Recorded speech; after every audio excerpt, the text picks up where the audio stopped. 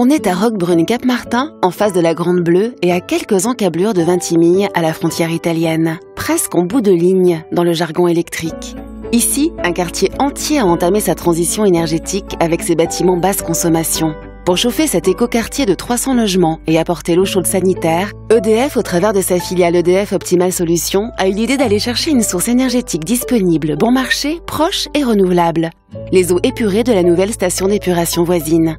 Des échangeurs récupèrent leurs calories, puis ils transmettent la chaleur en toute étanchéité aux eaux tempérées. Des pompes à chaleur, installées dans les immeubles, remontent ou rafraîchissent la température des eaux qui approvisionnent les réseaux de chauffage, d'eau chaude sanitaire et de climatisation.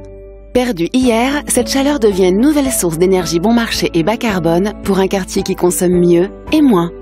Nos solutions pour le climat.